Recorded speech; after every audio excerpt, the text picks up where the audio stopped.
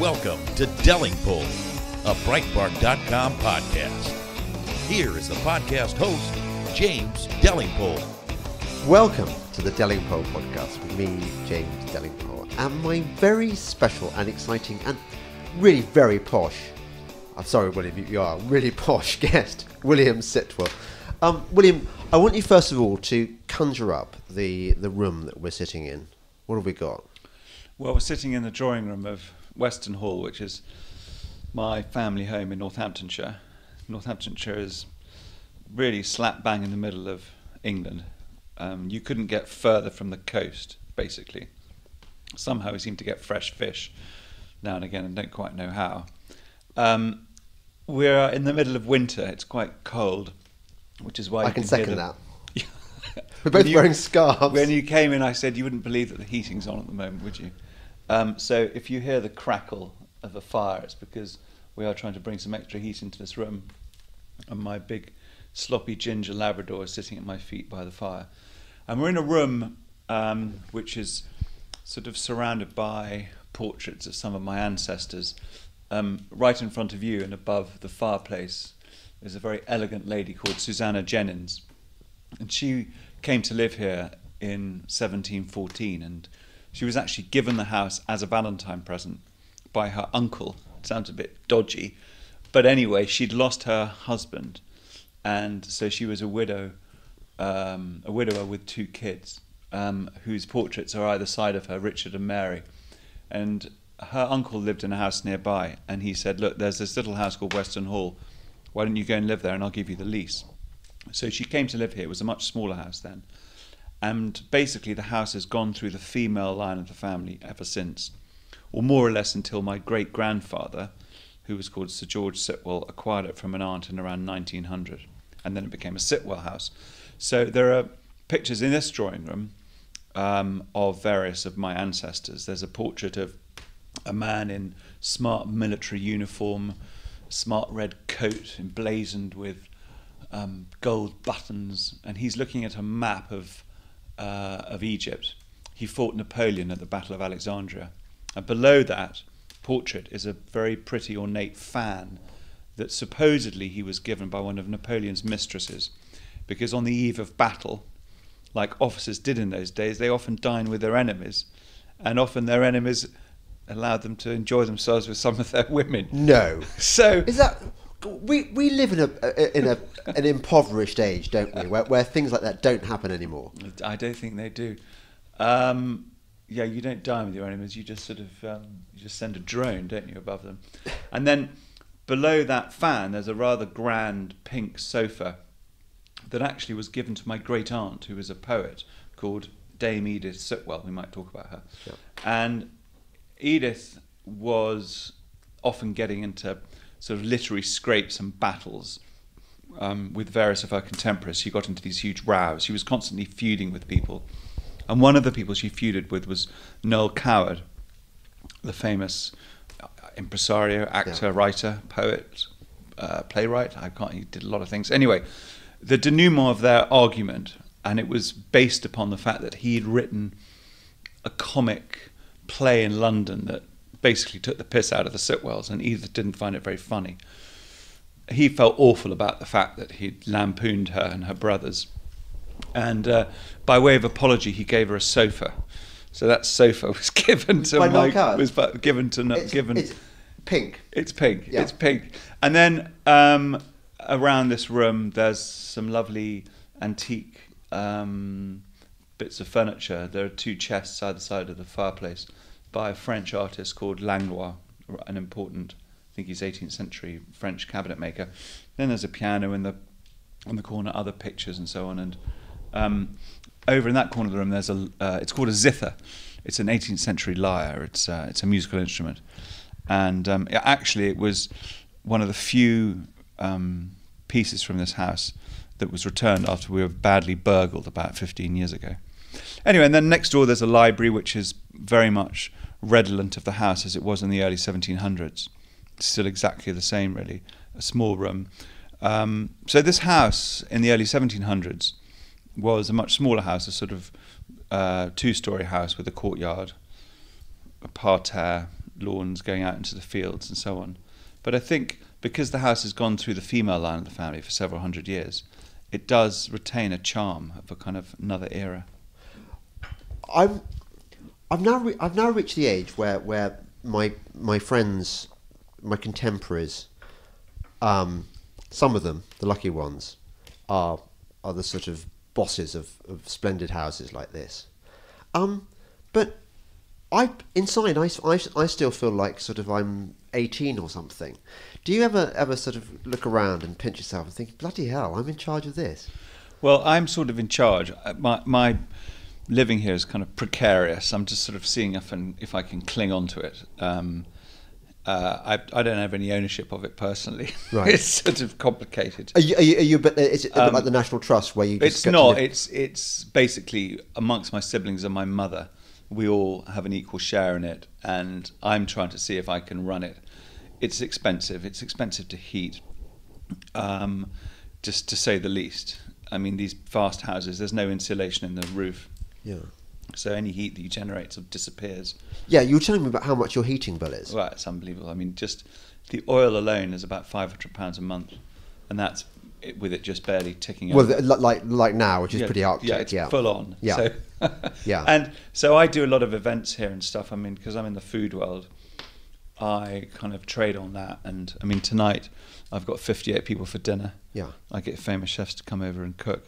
So it's a very beautiful place. And I mean, so it has an interesting history. It's it's my my father used to say it's a small big house or a big small house. Yeah. Depending on your point of view. Um, and I'm hoping we can somehow keep the roof on um, and keep it ticking over for the next generation. But it's it is precarious existence. It's I mean it's lovely to to be here. It's also lovely not being here. Yeah. I like to sort of be away from here and think about what it is I could do commercially or otherwise to sort of run it. But you know, at the end of the day, you know, home's got to be comfortable. And if you're literally sitting in the corner of a room shivering, Yeah.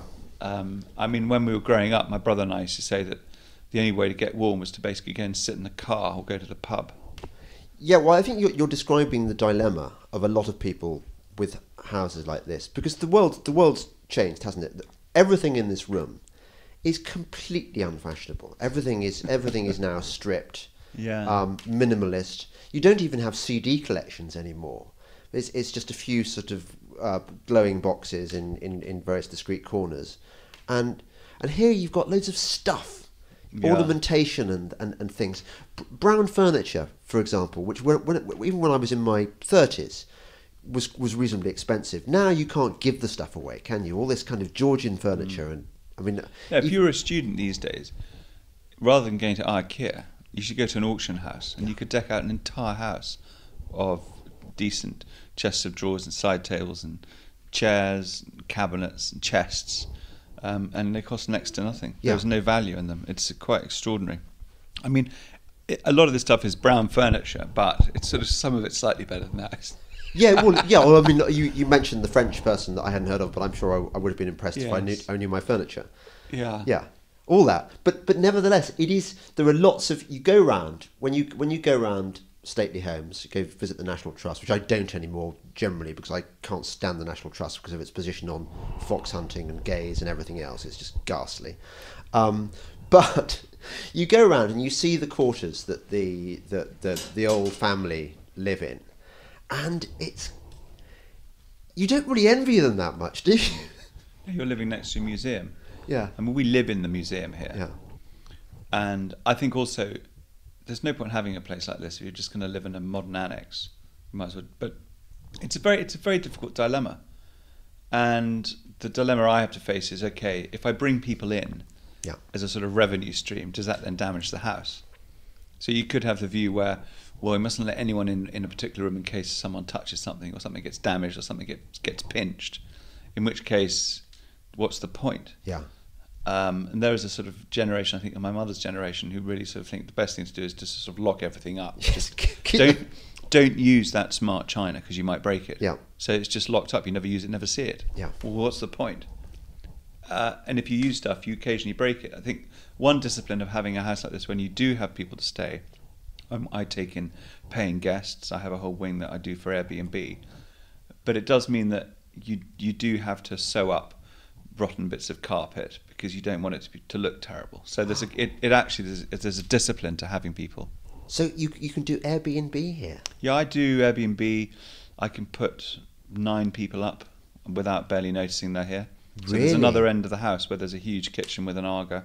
A And is it quite is it quite imposing and old and, and sort of It's the oldest part of the house. so do, I mean do you feel you're getting the heritage experience when you come and Well, they they feel that because they're in a lovely old house, but it's it's not f- so filled with stuff. I mean, there is stuff, but it's not antique. It's not ancient, precious stuff. yeah Um, I mean, maybe you can. walk- People might think that it is. It's not the same as in the main part of the house, but it's it's the old coach house and old kitchen, Yeah. which were were the coach house and kitchen for the main house. So it's one of the oldest bits, and the old kitchen is lovely. It's nice oak, oak floors, big Aga. Um, so uh, yeah, I mean, I, I try and fill that. It's quite nice. We're getting we're, nudging towards spring here now in England. And so my Airbnb bookings are starting to come in, Oh, which really is exciting. and and do, you- and do you feel uh, um, compelled to lay it on you know like like I'm I'm the lord of the manor and and No, no, my housekeeper, who's known as Sprout, um, because she gave me sprouts, chocolate sprouts for Christmas once. She collect, she she she greets them. If Right. I'm around, I, I do. I mean, occasionally I cook for them.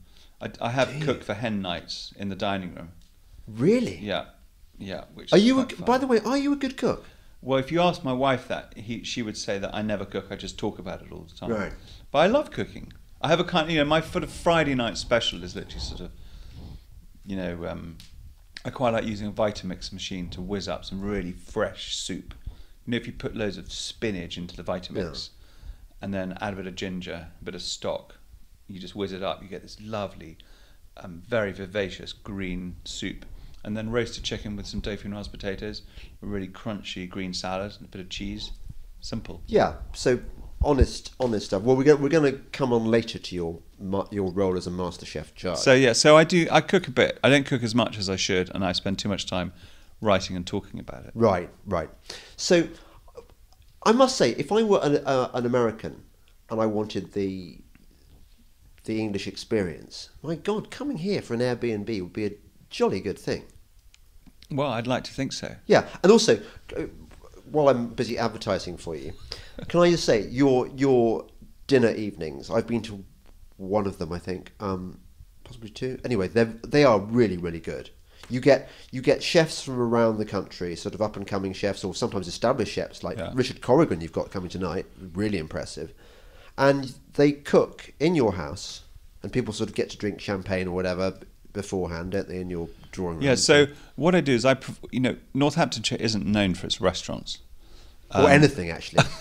we actually have a burgeoning food and drink scene, and I'm a patron of Northants Food and Drink. So I not only try and um, promote what we do in this county, but I also um, so I try and help to sort of invigorate it. But we do have some cheesemakers now. We've got a few winemakers, believe it or not. We've got some good cider makers, some very good ales. We have some very good local pates and some local good local ingredients.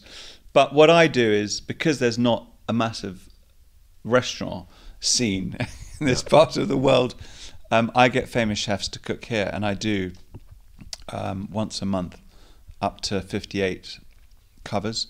So I can seat 20 in the dining room, I can seat about 32 in the hall, and another six in, in another little room. And it's fun. I have a very good team of crack team of local waitresses. So tonight, Richard Corrigan, who's a very famous Irish chef, is doing a sort of five course dinner paired with wine. So people come in and they can walk into the drawing room and the library, and we have cocktails before. Then we go and sit down. And in the summer, we all go onto the south front, which is the the sort of topiary garden on the south garden, south facing front, and uh, it's good. It's good fun, and people love it. And actually, we're all launching an innovation tonight, which is um, I've I've bought and constructed a, a, a drinks trolley of sort of naughty, filthy liquors, which is called HMS Carlo, named after a teetotal friend of mine who suggested it. So after dinner, this little thing with its beautiful coloured glasses will will chink and rattle through the rooms as I try and entice people to give me more cash for smart glasses of Kummel on ice and Oh, espresso martinis. Ah, yes. And strawberry m- marmalade vodkas. You've got you've always got to think of that, haven't you? The bottom line. How you can squeeze a few more Yeah. Pennies off people. And I bought a little. Um, it's called an iZettel. So it's a t- it's a touchless card machine, so that people, when they're a bit squiffy, haven't got to start handing out their cash. They just touch. So I'm constantly trying to work out s- subtle and civilized ways of rinsing people. Do you do you find it difficult, or did you ever find it difficult to think about money? You know, it's a really good question. That I've never really thought about money, and one of the things that I find astonishing is that, you know, I went to a pretty good school, same as you, a place called Eton No, College. I, I wasn't there. My only my son was. it was, yeah. Yeah. yeah, Of course, you just pretend you were Uh, there. vicariously, yeah. yeah, yeah, yeah. You just went to smart universities and pretended you were Yeah. there. Um, so we were taught a lot of things, but we weren't taught about commerce and business, Hmm. and ever given a spreadsheet. And it's really since I got divorced a couple of years ago that I've suddenly realised that I had to make money literally to survive, because I have my, you know, I have obligations and I have school fees, which is this sort of Yeah. crazy English thing where we, where we spend spend an absolute fortune to To get rid of our children.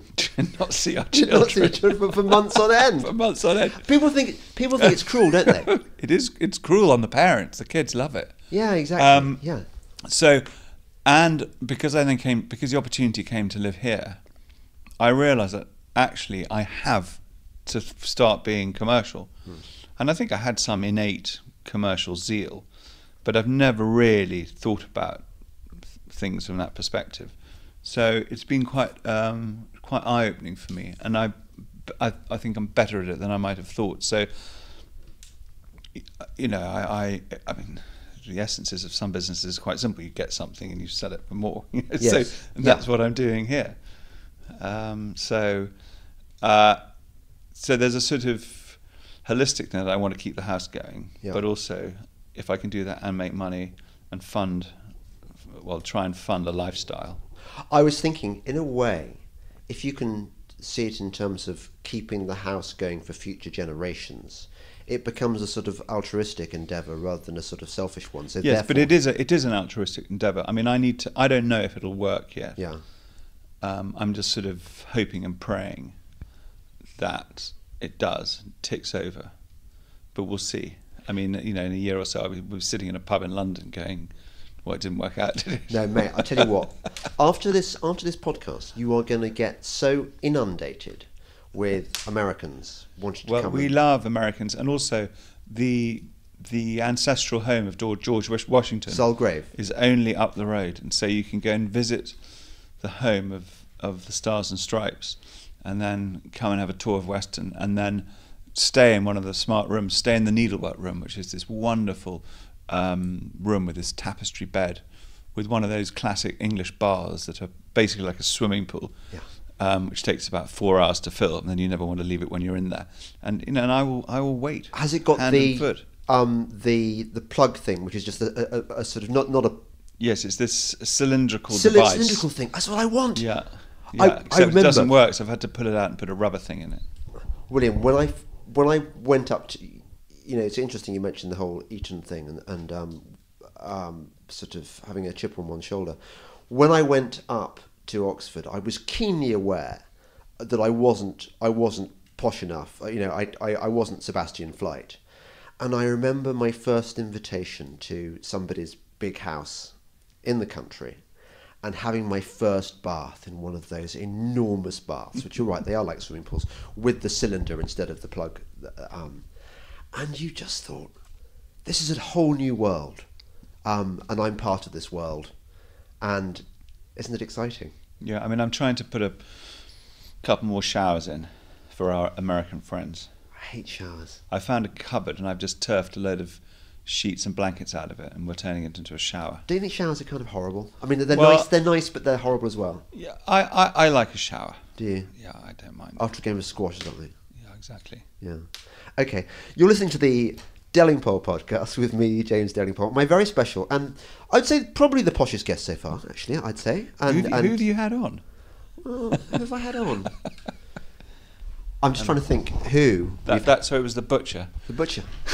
Isn't that great? The butcher comes round to your house. It- yeah, he comes in a white van and um, and a white coat. Comes up to the door, and he has everything you might possibly wish, from sausages and bacon and pork and beef and chicken, and also you can step into his van. You can buy fruit and veg, bread. It's amazing. It's That's incredibly how it should civilized. be. It's wonderful. People, if people are here at the weekend and they come on a Friday.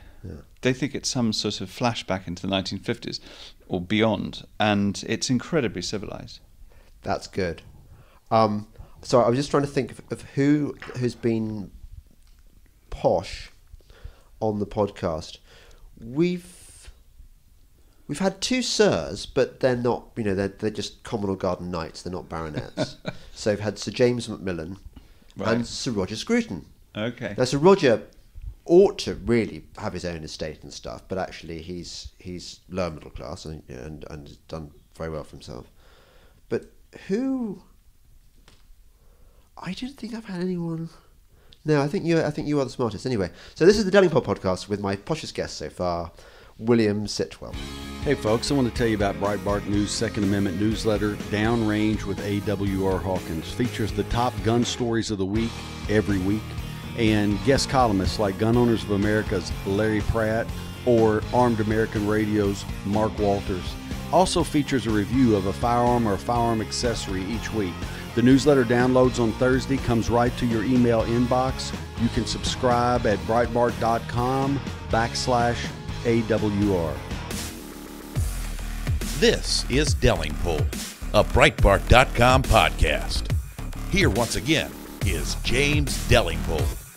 Welcome back to the Delingpole podcast with me, James Delingpole, and definitely my poshest guest so far, William Sitwell. William, um, I am a fan of a program that you are on called MasterChef. I think there are American editions as well, aren't there? But this is the, the UK edition and the first edition. Um, by the way, the guy who invented MasterChef, is it was it was it Franc Roddam? It was Franc Roddam, yeah, and the first presenter was Lloyd Grossman, famously in the nineties. Um, they have a show in the states called Top Chef. Right. They don't do MasterChef. They have MasterChef Australia. I think there's one in India, and it's one of the original cooking competitions uh, that's basically been honed and changed over the years. But there's now about three or four formats in the UK. So there's the original format where you take amateur chefs who no one knows and they compete for the title. Then there's a professionals one, so professional chefs. Uh, there's a celebrity one, which is sort of uh, people. We sit we sit in the room as judges, and these celebrities come into the room. We kind of go, "Who was that?" Yeah, yeah. and then there's a kids one, MasterChef Junior, Junior MasterChef, which actually was is my favourite. It doesn't happen every year. right. I love it because you get these little 9, 10, 11, 12 year olds in their little MasterChef jackets bringing their concoctions into the judging room, and it's so sweet. And they're really good, I'll bet. They're really good. It's yeah. great. Horrible little tykes with their precocious little. Yeah.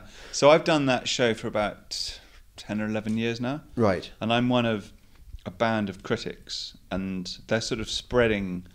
Uh, spreading the talent now, so there's a few more of us, which means I think I'm on a, a little bit less. So you're, you're disadvantaged by the fact that you're not female, number one, um, and and you're not ethnic either. So um, well, there's another posh git called Tom Parker Bowles, who's a great friend of mine. I like Tom. And Tom is great. Tom, Tom, who's fantastic and brilliant and clever and funny, and uh, he goes on the show as well.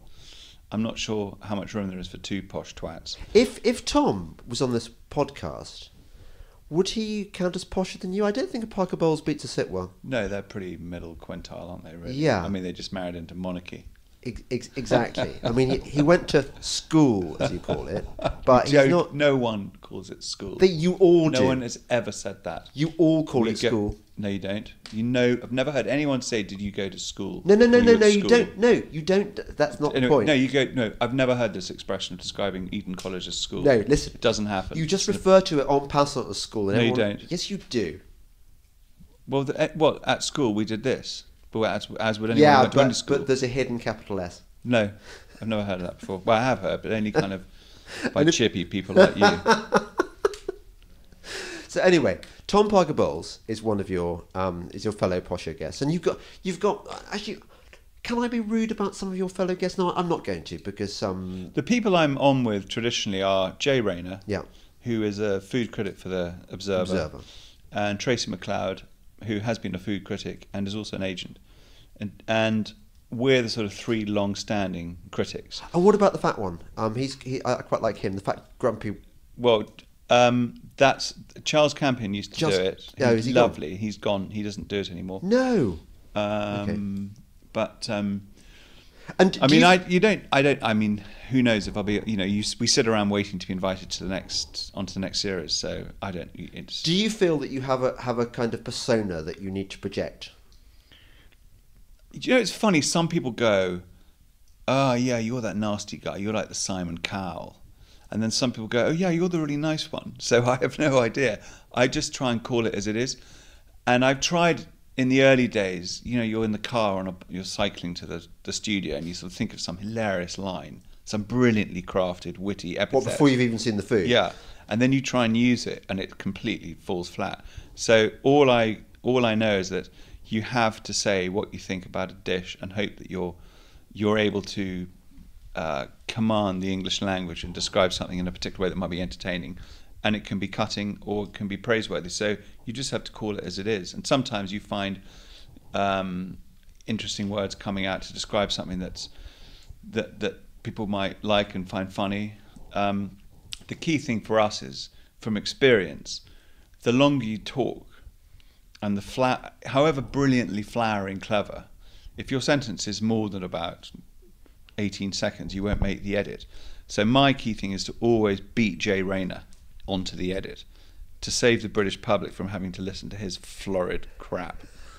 so he'll kind of go off on a tangent Yeah. using all his phenomenal knowledge of food Yeah. um, to condense something, maybe. Yeah. And I'll just say, well, that's the most disgusting steak I've ever eaten. And you Yeah. know that I'll make, not only will I make the edit, but I'll also make the pre roll advert for the show. Yeah. no, laconic is good, and actually it does suit the suit the image. So, um, I don't cultivate any image. Um, no, it's just there, man. But you are a brand. I mean, we all have to think in terms of brand, whether you like it or not. Even though you're too grand to have a brand, yeah, you are. Too grand for brand. You are you are that thing. But no, I think you come across actually. I, I'm not going to blow smoke up your eyes. I, I think you come across as, as very fair and very reasonable and with a sort of hidden sensitive side. I think comes Right, beneath well- that sort of cold aristocratic exterior. Well, there you are. You've, you've, you've painted a picture. but but um, do you, you presumably don't do takes, do you? Uh, no, you film it. And I remember in the old days when they used to just have one camera, if Jay and I were having an argument, we'd have to redo it um, so that you could move the camera to each person. So we'd have to say our lines again. Oh, tiresome. Um, but now uh, there, there's two cameras, so if, if we're disputing a dish, Yeah. um, they tend to have that, so you don't have to do the pickups. We still occasionally have to do the kind of, can you do that look again because we had the camera on the food, so you kind of, st- you, I give that Oh, look of hard. complete and utter incredulity that Jay Rayner could have said something quite so banal or stupid, Yeah. or, or he, do- he he does the same thing to me. Yeah, and quite, quite often there's a, there's a scene. It's almost become a, a trope where where the chef comes in late and flustered and really apologetic and Yeah. almost dropping their dishes. Yeah. Well, this is always very funny because we shoot uh, what's probably half an hour of TV in four hours, and um, it can kind of start after breakfast and end around lunchtime, or start at lunchtime and end around tea time. So we have to be quite careful that we haven't sort of eaten too much before, and you have to be careful not to eat too much right at the beginning, so that you're you're, you're not unfair to the people at the end. But the point is that we sit there eating, we might have a glass of wine, we're chatting, we have no idea if someone's late or not. And so the director will come in and say, Look, the next chef's a bit late. Can you do the kind of where the hell is he look? So we stop talking, we look at our watches, we stare at the door, we kind of roll our eyes, and uh, we imagine tumbleweed, you know, blowing through the set. But in reality, we've got no idea that. You just don't care. we, we don't care. We go, Really, where, which dish are we on to now? and you, I think one of your pet hates you don't like overworked, over sort of fancy try, try hard food. Well, I don't know who does really, and I don't like square plates, which will go on my tombstone because I've sort of endlessly campaigned against square plates. That and Morris dancing, really, which I think, think should be banned. And the square plate and the over fussy food and the smears and the froths and the foams, the decoration, where it feels that the chef has spent more time with his fingers fiddling around with the placement of the food than just cooking singular ingredients. And Michael Winner, the great film director and critic, used to say, very sensibly, I thought that uh, We don't care how many ingredients go into the dish. It's does it taste nice? If it's 15, I don't care. you know, so that's the point that it does it taste good. I'm not interested in the the priest, the backstory. Yeah. And if you're over fussy and over layering and creating towers of things on on slate, um, I think it's off-putting because it's just it's going to go in your mouth, and its texture and flavour. I mean, the eye does judge, but I think you don't want to be led astray by some fancy artistry. I mean, it's obvious when a chef can get it right Yeah. um, because there are flourishes that feel natural. But when it's over, sort of overdone, I just find these sort of. Sometimes you get a dish where it looks like a snail has been lobbed onto your plate and has skidded to a halt, and has kind of uh, there's a sort of trail of green, what is sauce behind him as he sort of crashed into the venison or something, you know, and you it just looks like it's over fussy. I can't bear that. Do you notice a qualitative dis- difference between the kind of stuff that the professionals cook and the kind of stuff that the enthusiastic amateurs? Well, I often find actually, we often find, I think that the, uh, we often find that the professionals are disappointing because they're trying to aspire to something and we we don't quite know what it is. Yeah. Whereas the amateurs cook food that is the best sort of food you might want to cook at home, which is the food that most of us want to eat. So I find the amateurs surprise you with how good they are, Yeah. and sometimes the pro- professionals surprise you with how terrible they are. has has food been going through a what are the, what are the trends at the moment that are good and what are the trends that are bad? Well, I mean, I write about food trends in the Times sort of every season, Right. and because I write it, I know I know what complete nonsense it is. Right. Because a trend is just a trend because you say it is. Green bowler hat. You can, yeah, you can say that uh, blue cauliflower is in, and you can say that. I mean, I think, but having said that, there are genuine things that are happening right now, particularly in London. So there is a, so whereas once the idea of eating eating vegan was literally a sort of thing that hippies did Yeah. in the 70s um, when they weren't growing their hair. Yeah. Uh, it is a thing now, and it is much more of a normal thing. And there are vegan restaurants. There's a plethora of vegan cookbooks, and I see them because they've been they land on my desk. Um, there are products that support that nowadays, um, and alongside that, there's a sort of anti-alcohol millennial um, desire to drink things that won't get you drunk, which I always find bizarre. They're called straight edges. Well, yeah, there's seedlip, for example, which is distilled um, water. it's sort of real Emperor's New Clothes stuff, but it's it's so it's it's a drink where you've put botanicals in it Yeah. and you've distilled it, so it's a spirit, but it's non-alcoholic. Right. And Diageo have bought a minority stake in that company. There are there are products like Aquafaba, which is um, which enables vegans to make meringues and mayonnaise without eggs. It means you can make a whiskey sour without an egg. So there's lots of these things, and there are you know new vegan products coming to the market. So that vegan veganism is a thing, and it is interesting. Can we Um, stamp on it? How? How can we crush this crush Yeah, this well, revolt before I don't mind it. It doesn't bother me. And I mean, I think anything that persuades people to eat less beef and or eat better beef uh, on rare occasions is good. We eat far too much meat. There is a real problem, I think, with the amount of soil that's being used to create feed for animals, and the fact that um, developing the developing world apes um, the Western world and the United States in that freedom and richness should be uh, exemplified by eating beef. It's a it's a complete disaster because the amount of grain and and water you need. So the sooner we can grow meat products in the lab, so that a burger costs 50p, not 25,000 pounds, the better. I think that is it, it, I, it's so important now.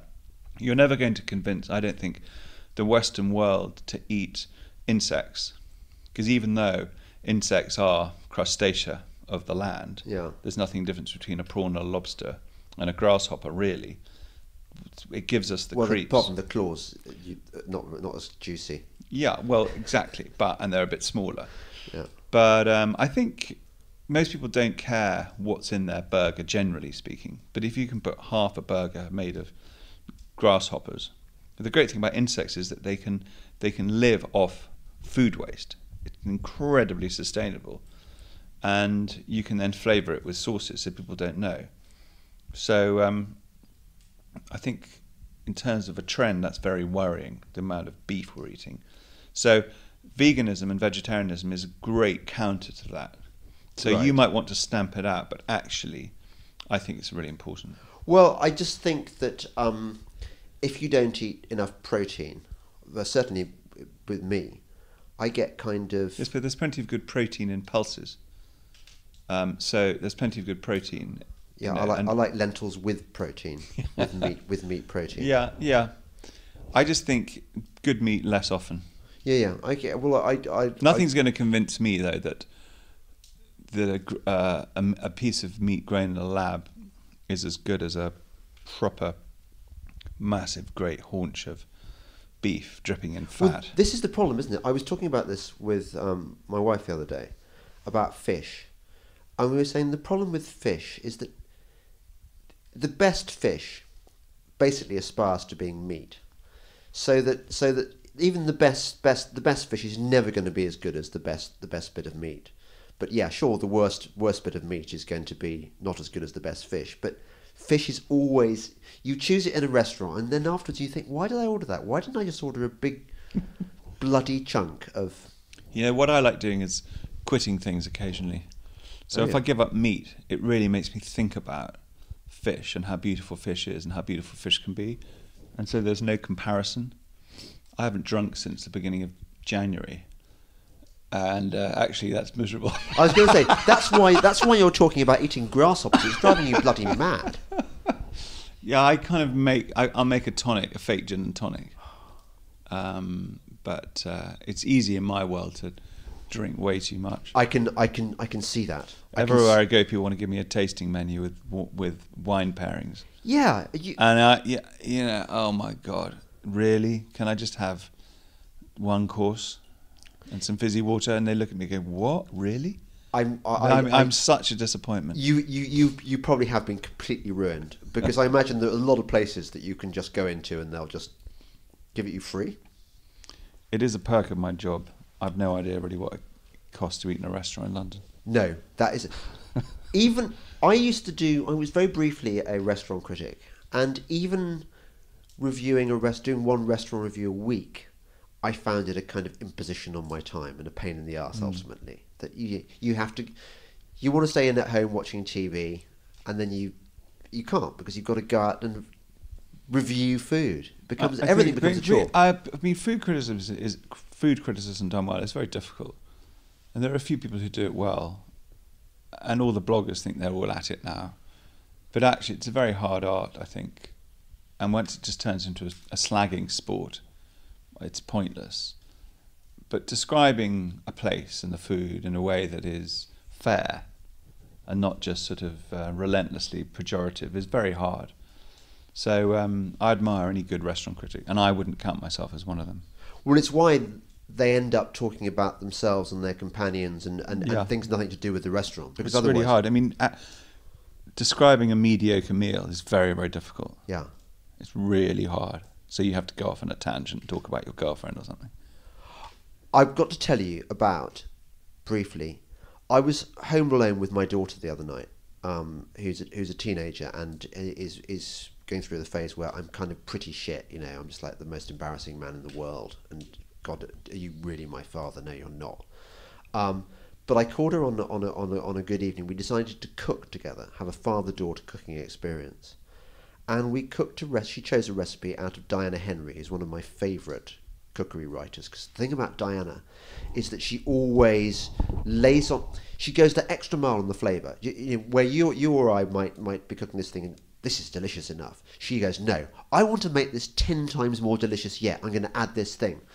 So we cooked what turned out to be her favourite dinner party re- uh, recipe from when she was younger, which was um, lentils, you know, um, with a cooked in the sort of conventional way on a, you know, with with um, carrot and onion and um, celery, um, pan pan fried breast of chicken with a wild mushroom and cream sauce. Now that's very old school recipe, isn't it? It's you, you wouldn't get that being done now. It's it's it's too rich and too. Uh, yeah, it sounds very nice. No, it was very good. We were both congratulating ourselves on, on our good fortune in having cooked this amazingly. But I was thinking that that f- that that seems to that belongs to another era. I don't think people would expect when they went to dinner now they wouldn't get that, that dish. I don't know. I think people are cooking all sorts of things. I think I don't know whether the British middle class is still um, drizzling pomegranate molasses or on everything as directed by Yotam Ottolenghi. Oh, was that? Yeah, actually, Ottolenghi is a thing, isn't, isn't he? Or was it was a thing? Yeah, I mean everybody in Middle England had um, Jerusalem and his other books in their kitchens. Yeah. I think people got rather fed up of another dinner party with a dish covered with medjool dates and pomegranates and Yes, you're right, Ottolenghi. Yeah. Um, you're listening to the Delingpole podcast with me, James Delingpole, and my very special and gastronomic guest, William Sitwell. Sonnie's Corner with Sonnie Johnson. No matter what the story of the day is, I'm going to make sure that we talk about these issues. I am going to make sure that when apologies are necessary, we're going to be there with a camera and with a spotlight. Somebody on this side of the aisle is there to say the movement, it was wrong. There are valid things that are happening in your city that actually need our attention. Sonnie's Corner, Saturday at 1 p.m. East on Sirius XM Patriot 125. This is Delingpole, a Breitbart.com podcast. Here once again is James Delingpole. Welcome back to the Delingpole podcast with our very posh and gastronomic guest, William Sitwell. William, besides being a kind of a businessman, um, you are kind of a businessman, aren't you? um, I, I won't. No, but it's fine. I do businessy things. Yeah, you do businessy things. That's Yeah. that's a bit. You're a businessman. you you you do contracts and things and organise Yes. shit, don't you? Yes. Oh, yeah. yes. Okay, but apart from that, and apart from being a TV um, celebrity, you also write really good books, and you wrote one last year on. You know, I haven't read it yet, but I but I, I heard you talking about it on the on the radio, and I've read extracts from it, and it was called Eggs or Anarchy. Eggs or Anarchy, about Lord. Well, this is the story of how an extraordinary man called Fred Woolton, Lord Woolton, fed Britain in the Second World War. And I'd sort of heard about him, and actually, it was in a book I'd written previously, and I came across him. And I was writing very briefly about rationing in the Second World War. And I thought it was kind of a dull story. And I came across this man, and there was just one little extract I read from his autobiography where he talked about how he had basically sent someone to Egypt, to Cairo, to negotiate um, to buy a load of rice. And the, the bottom line of the story is that this man bought, his agent bought 100 million tons of rice on the black market. And Woolton wrote in his biography, in his autobiography, I neither, where he, in terms of where the rice came from, how he bought it, I neither wished to inquire nor sought to know. In other words, it suddenly occurred to me that here was a man at the top of Whitehall preaching to Britain to absolutely not break the black market rules and regulations, yet he was doing it himself in order to feed Britain and, and her colonies. So I thought, well, this is interesting. There must be a bit more to this. So I pitched this to a publisher who went, yep, love it. And I thought, okay, great, I've got one anecdote. Yeah. And then I was lucky because then I discovered through meeting his grandson all his unpublished diaries sitting in the Bodleian Library in Oxford. I also then discovered huge amounts of private correspondence. And I discovered that Wal- Woolton was an extraordinary man. He was a self made man, working class roots in Lancashire in northern England. The only member of his family to go to university. His grandfather literally was um, an itinerant landlord his, uh, and a saddler. Um, he had a entrepreneurial zeal and a natural gift for retail. So to cut a long story short, he went into the retail business and made a million. He was a millionaire about to retire in, his late fifties when war broke out, and he was made Minister of Food by Neville Chamberlain. So here we have an example of a businessman without any political experience put into government. And there are some quite interesting similarities, obviously, today. What happens when a businessman goes into government? A businessman who doesn't care what people think about him goes into government. And Woolton operated in politics as he did in commerce. He didn't care what people thought about him. He battled with Churchill. He battled for budget, like all the other people did, I suppose, within the cabinet. But he did extraordinary things. He used the the chancellor, the then chancellor of the exchequer, as a sort of private banker. He was buying futures in wheat during the war, using pseudonyms. Um, he was buying food on the black market, uh, and he was this extraordinary man. And his story is absolutely incredible.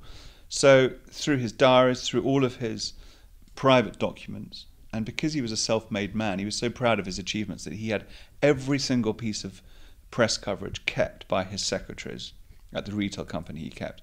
So I was able to, I went up to Scotland to an old family home and discovered these albums. And there, set about me, was this research. You know, I was On a able plate? to. I was on a plate. So I was able to look at cuttings from the Perthshire Advertiser, the Coventry Echo, um, newspaper things, little stories about him that whether which, which were either positive and negative that I'd never been able to find. That with his diary, so I was able to paint a picture of how Lord Woolton, um, without him, Britain would have starved, and it's an extraordinary story. And also another amazing story, such as the fact that the entire Ministry of Food, in huge secrecy in the Second World War, decamped to a little Welsh seaside town called Colwyn Bay, um, which no one seems to know about. So it was like Bletchley Park, the coding place near Milton Keynes, that's now a tourist attraction. Um, the you know the, Britain's food and drink was managed in this seaside town, and not a single bomb was dropped on it, and people in Whitehall didn't know about it. I came across missives between civil servants saying, "Where's the Ministry of Food gone? We're trying to get an answer out of them." so civil servants didn't know. Spies, German spies, in Whitehall didn't know, and this uh, the rationing system was run without a single computer, just pen, paper, men, women, from village officers right up to the Ministry of Food, and Lord Woolton at the top of it. And it's an extraordinary story. So, um, yeah, I wrote this, and it's kind of, if I say so myself, it's a bit of a riveting yarn, and it's a story of a of a man battling to feed Britain and battling to convince people of his of the rightness of his argument. Battling the bureaucracy because the the state was so bureaucratic and sclerotic and and more than my job's worth, wasn't it? Yeah, and also battling people like Churchill who eschewed the ration, who thought rationing was some sort of uh, exercise administered by Woolton because he was he he sort of behaved like Goebbels, as Churchill once called him. So, I mean, the letters I found from Churchill reprimanding Woolton are absolutely hilarious because he at one point he says he didn't understand the ration. He says. I, I would have thought just asking someone not to have a second helping would be all we need to do. I mean, seriously. Right. And Woolton once went to Chequers, the Prime Minister's country home, to argue for some budget. And he was amazed by the amount of food there. You know, on the sideboard there was sort of amazing lashings of beef and ham and fish and stuff. And it was obvious that Chequers was a was a refuge from the ration. Whereas even the royal family had to have coupons. I and I found um, letters from junior members of staff in Churchill's office writing to junior members of staff at the Ministry of Food saying Mr. Churchill's run out of coupons and points and can we have a little extra sugar? So part, one of my theses is that while Britain tightened its belt, Churchill loosened his. Right. D- um, how close did Britain come to starvation?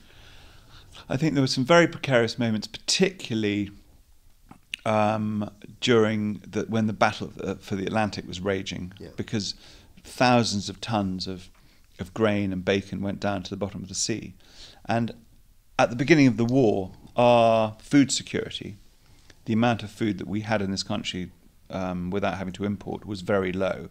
But we had, but the, the Ministry of Food and the Ministry of Agriculture had learnt its lesson from the First World War when we really did nearly starve, and some people did starve. So that there was a black book that was written up in order to try and prevent this if another conflict broke out. Um, so thanks to good administration and thanks to the ingenuity and the economy of of cooks, women, Yeah. we didn't starve, and we had some luck. We had some good harvests and so on.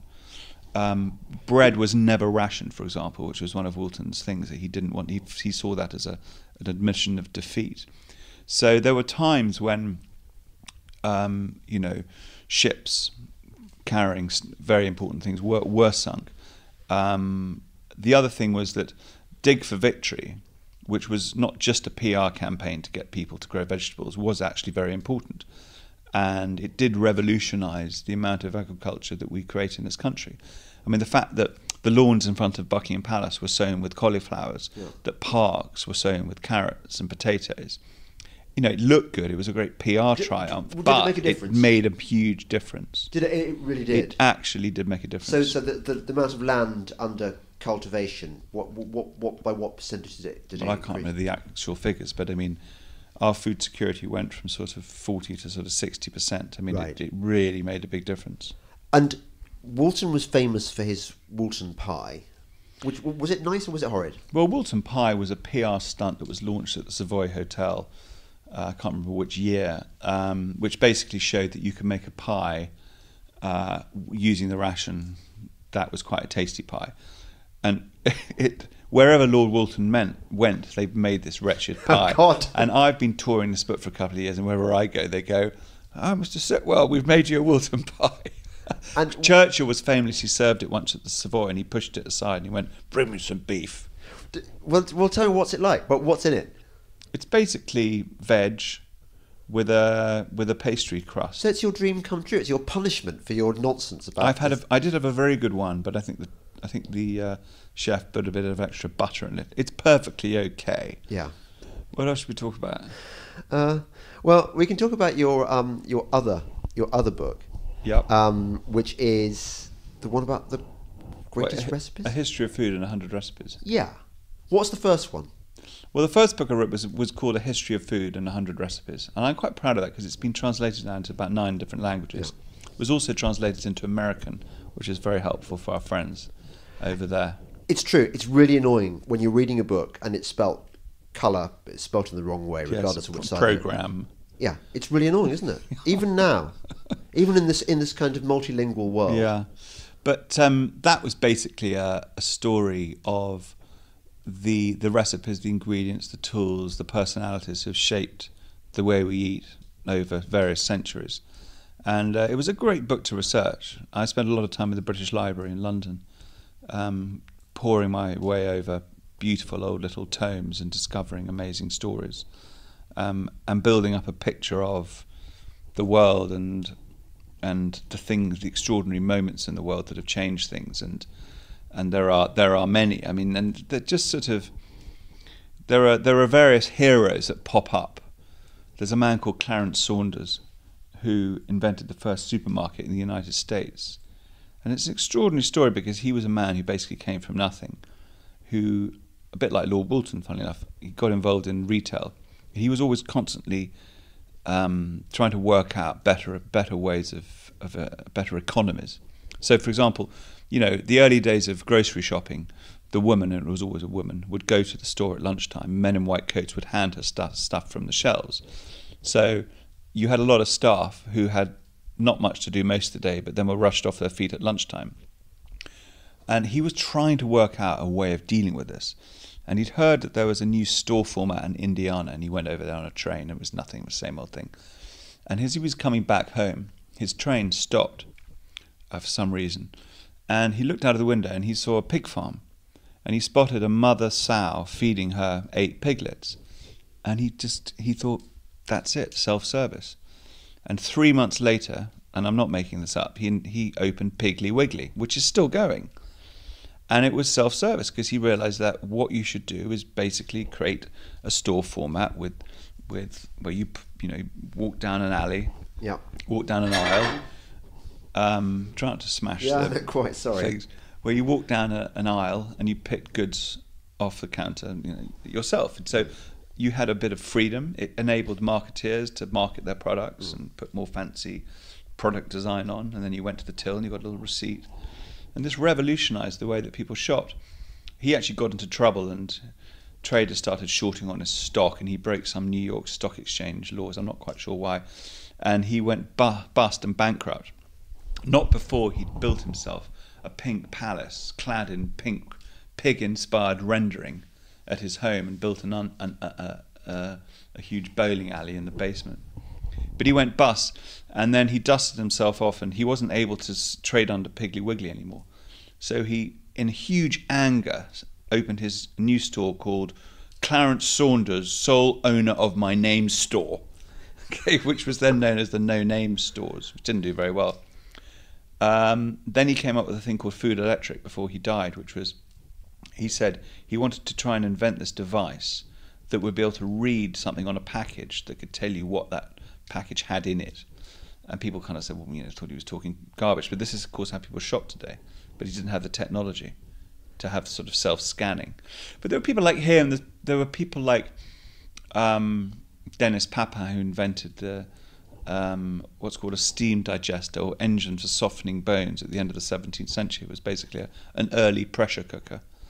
So these great innovators Right. stories of how tomatoes came out of Mexico in the sort of early 16th century, but never really got into proper culinary practice until a lot long, a lot later. I mean, the first ever recipe using a tomato I discovered in a book called The Modern Steward, which is a book written in Neapolitan Italian in about 1680 um, a book written by a man called Antonio Latini, who was a who was a, a chef, a steward in Naples, Spanish occupied Naples. And I went through this book and I finally discovered a recipe, salsa de pomodoro a la a- España. In other words, tomato sauce in the Spanish style.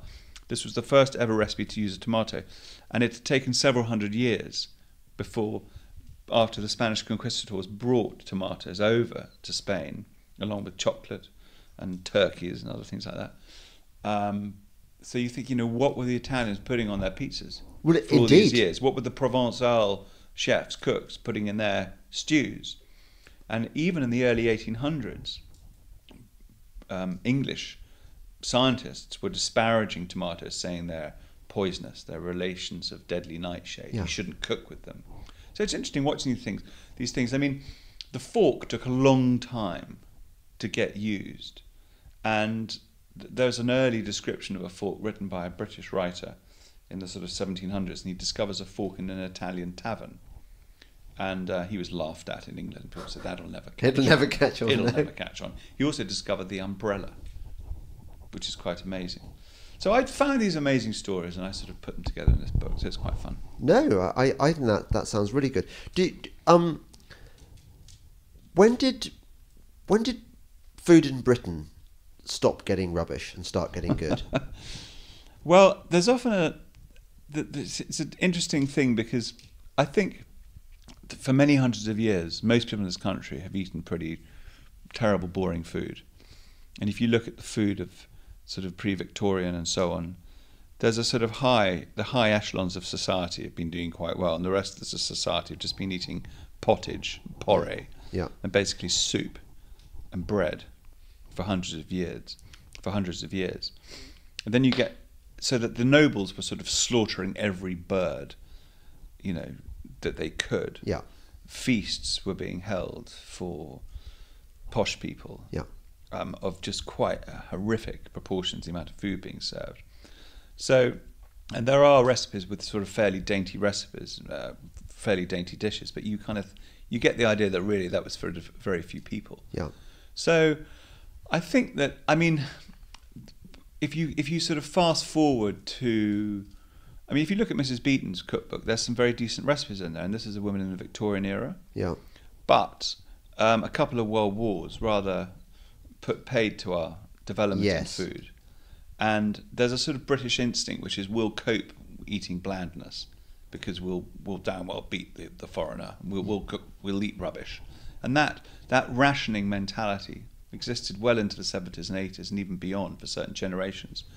I think we I think the food we eat today is more exciting than ever. The Well, I plethora think of restaurants and ingredients is just unbelievable. It's not unusual for someone to sort of dole out, you know, bring kimchi, you know, a bit of fermented Totally cabbage not. condiment out of their cupboards.